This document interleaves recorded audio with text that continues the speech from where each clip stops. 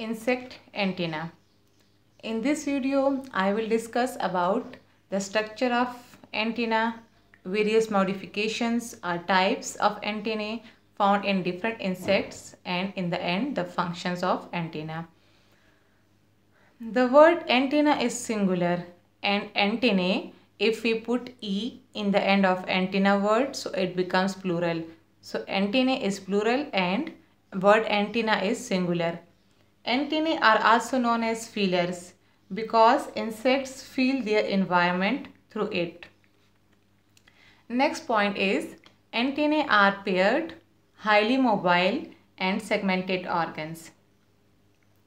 Antennae can be defined as the sensory organ of insect located below or between the compound eyes in the head region.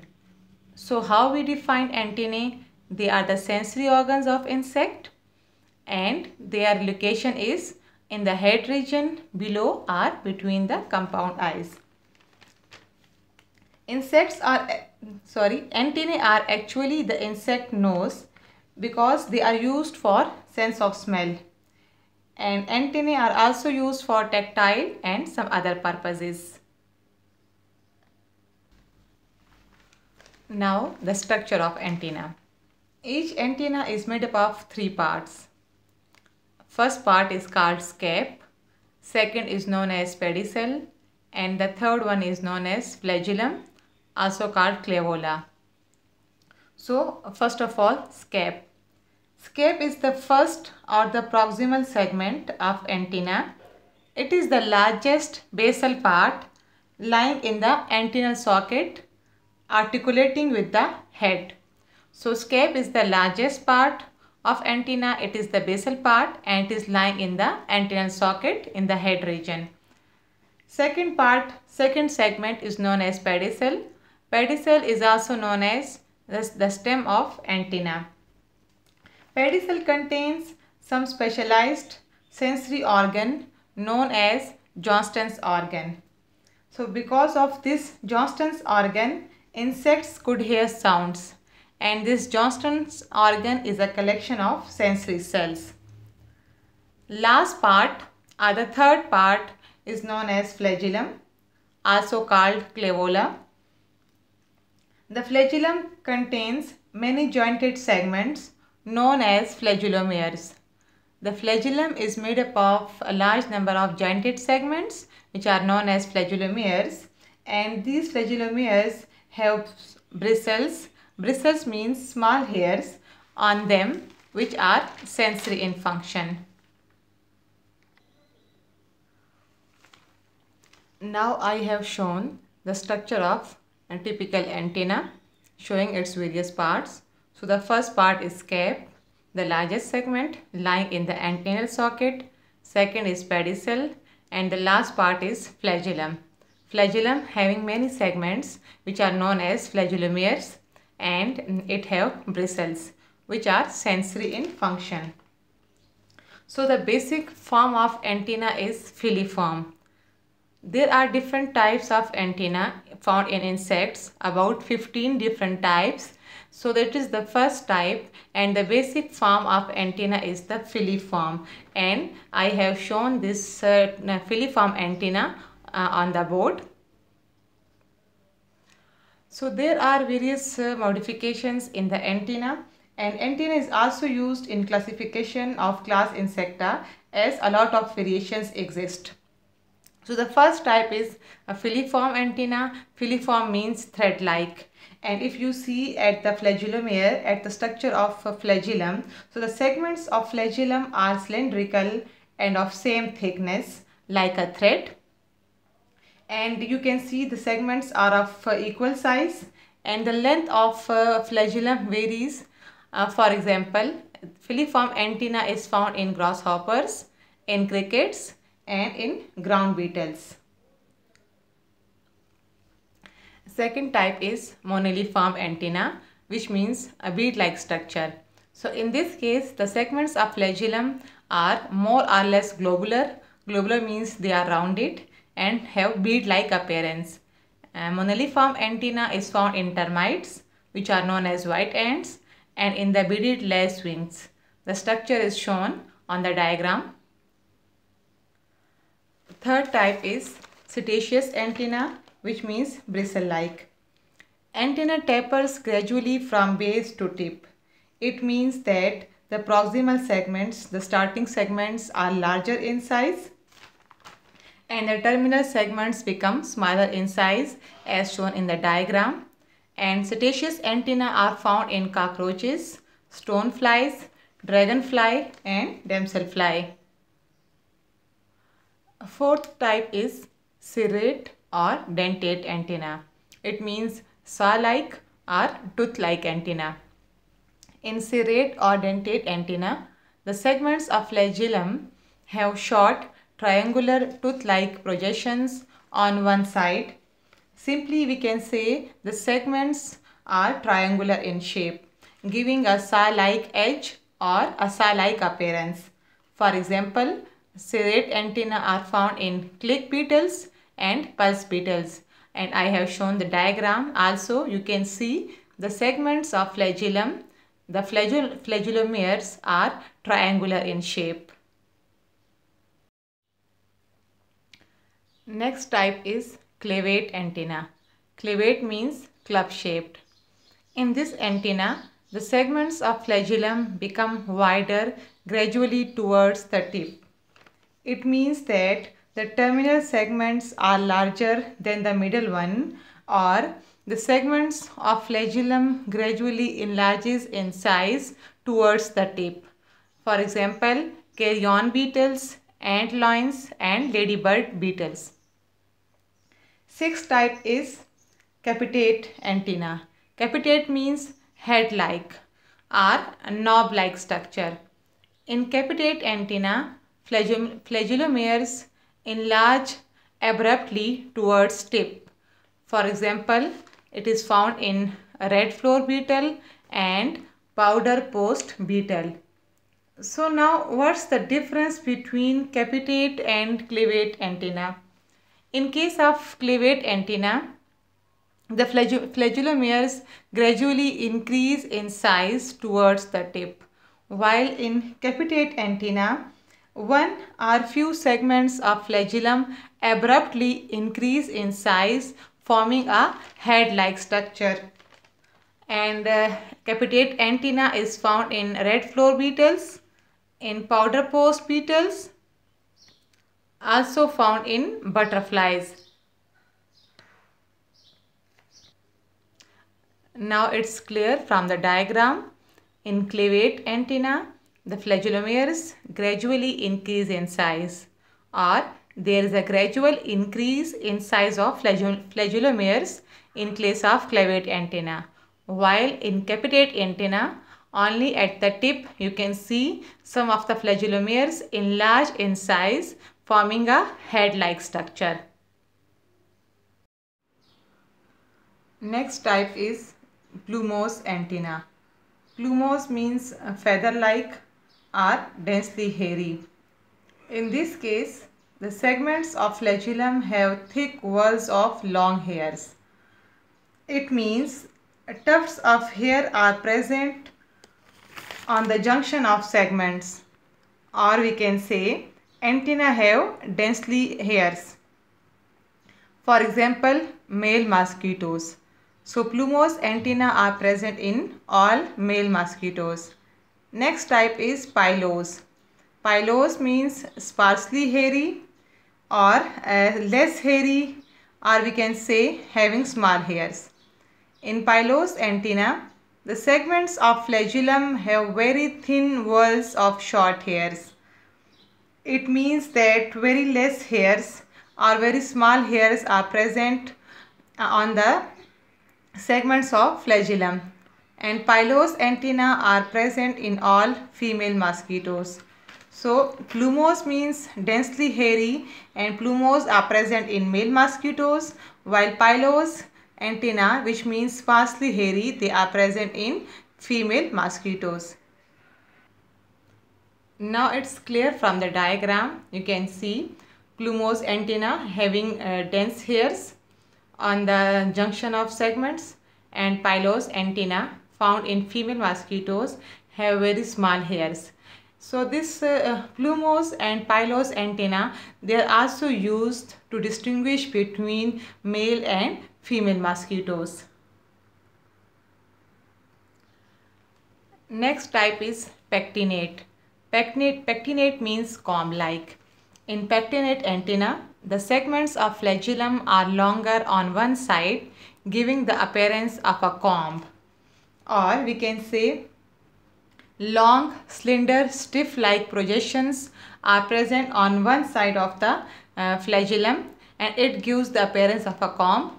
For example, cardinal beetles, fire-colored beetle and sawfly. Next type is bipectinate. Bipectinate means double comb like. In this case, the segments of flagellum have long, slender, stiff-like projections on both sides. So giving the appearance of a double comb. For example, silkworm, bipectinate antenna are present in silkworm, in saturnate, uh, saturnate moths and in fireflies. So what's the difference between pectinate and bipectinate? In case of pectinate, long stiff like projections are present on one side while in case of bipectinate, these projections are present on both sides.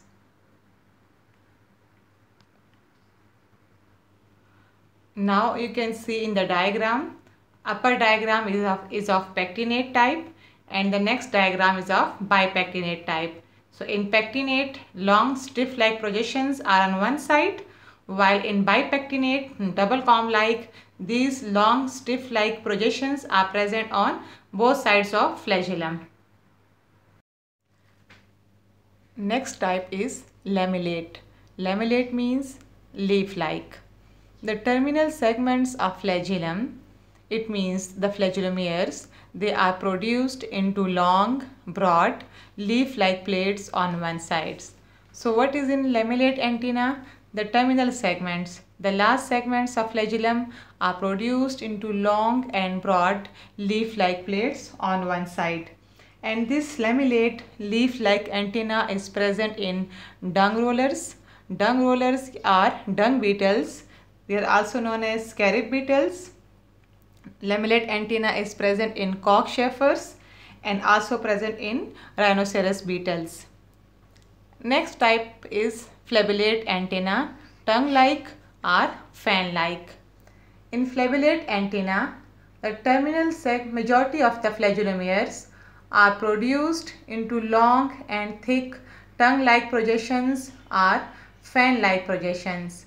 In case of flabellate antenna, majority of the flagellomeres are produced into long and thick tongue-like projections. For example, it is present in male stylopids and in June beetles. Now it is uh, clear from the diagram what's the difference between lamellate and flabellate antenna. You can see in lamellate leaf-like antenna which is present in uh, dung rollers in rhinoceros beetle only the terminal segments only the terminal segments have long leaf-like projections while in case of flabellate antenna all the segments would have these extensions. You can see from the starting segments all the segments the starting and the middle and the last one all the segments have these the extensions. So it's from diagram it is clear the difference between lamellate and flabellate antenna next type is geniculate antenna geniculate means elbow shaped in this case there is abrupt bend in antennal segments giving elbow like appearance so what is meant by abrupt bend there is a sharp bend in antenna segments. After pedicel, there is a sharp bend and this sharp bend of flagellum, it gives an elbow-like appearance. And it is clear from the diagram mm, of geniculate antenna and this antenna is found in ants, in honeybees and in stag beetles. Next type is aristate antenna. aristate means arista-like. There is only one flagellomere which is greatly enlarged with a thick bristle called the arista. So what is in case of aristate antenna? Here the flagellum has only one segment. The flagellum has only one flagellomere whose size is very enlarged, whose size is great and it has a thick bristle which is known as arista. So that's why the name aristate is given to such antenna. For examples, aristate antenna is found in house flies, in fruit flies of order Diptera. Next type, the last type is stylate antenna. Stylate means styliform. The terminal segment bears a large spine-like process called the style. So in case of stylate antenna, the flagellum, the last segment of flagellum has a long unsegmented terminal hair which is known as style. So the name stylate antenna is given and it is found in robber flies and snipe flies. The difference between aristate and stylate antennae is cleared from the diagram. You can see in the aristate antenna scape, then a large triangular pedicel and there is only one flagellomere whose size is very enlarged and it bears a thick bristle which is hairy and it is known as arista. While in case of stylate antenna, you can see scape and pedicel and then a single flagellomere which has a unsegmented long terminal hair known as style. So it's the difference between aristate and stylate antenna. Now, now the functions of antenna. Antennae perform various functions in different insects and a list of these functions are uh, written here. The first function is antenna is used as an organ of smell and taste, for example in cockroach. Second function is it is used for the communication purpose, especially in case of social insects like honeybees, ants and termites which live in the group form, they used antenna for communication. Third point is to perceive the environment. To perceive the environment means that to know about the nearby environment, to know about the changes in humidity, in temperature, in sound, wind speed and direction. Antenna is also used as an stridulatory organ. Stridulatory organ means a sound producing organ and it is used in the crickets. They used antenna for sound production. Fifth point is antenna is used to find a suitable food or to know about the uh, quality of food and also used as a um, purpose for uh, as a site for oviposition. Oviposition means the female insects they will uh, first uh, locate a suitable substrate to lay eggs. Next point is it is used to find the mate. Antennae are used to find the mate through pheromones detection. The last point is it helps in sex determining. Sex determination, for example, in mosquitoes. In mosquitoes, the male mosquito has plumose antenna while female mosquito has pilose antenna. So with the help of two different types of antenna, it is easy to discriminate between male and female mosquitoes. So it was all about the structure of antenna, various modifications and function of antenna. So in the end, I would like to ask a question from you students. The question is, which insect order has no antenna? I repeat, which insect order is without antenna? Which which name the insects are name the order of insect which lacks antenna? Thanks for watching the video and don't forget to subscribe my channel